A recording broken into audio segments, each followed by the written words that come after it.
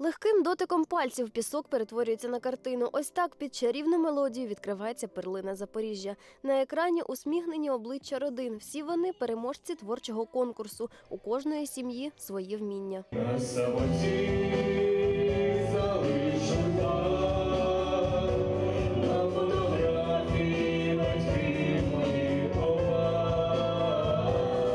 Співають у родині Спориш усі. Мати виступала у Запорізькій філармонії. Невдовзі вокалом почав займатися і син. Сьогодні в них перший дует. Тепер і хлопчик хоче стати відомим виконавцем. Я просто виступаю по Запоріжжю.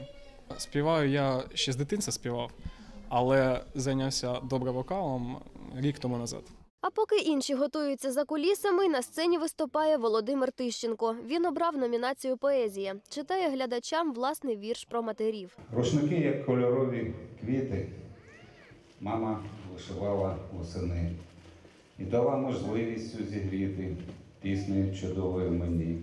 Володимир відомий композитор та автор багатьох пісень. Пише не тільки для себе. На цьому конкурсі деякі учасники теж виконують його пісні. Володимир каже, надихає його саме Запоріжжя. Надихає, ви знаєте, нас, е, ми щасливі, що в нашому Запорізькому краї живемо. Тут якась аура, розумієте, наші є зірки. Конкурс Перлина Запоріжжя відбувається вже 11-й рік поспіль. Щоразу організатори намагаються додати якусь родзинку. Цього року міська рада підготувала календарі з роботами учасників. календарі е, з роботами наших учасників. Можу навіть продемонструвати на наступний рік. З всі, всі роботи ми сюди поклали в цей календар. Тут є роботи як і фото, так і малюнок наших учасників. Це конкурс мистецтва, культури.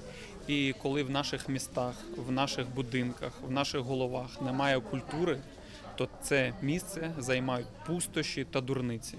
Тому ми прагнемо, щоб молоде покоління, щоб наші молоді сім'ї брали на вооружіння культуру, слово, пісню, Самі учасники кажуть, цей конкурс чудова можливість провести час усім разом, а ще показати свої таланти місту. Карина Рибачонок, Володимир Кіт, телеканал ЗЕТ.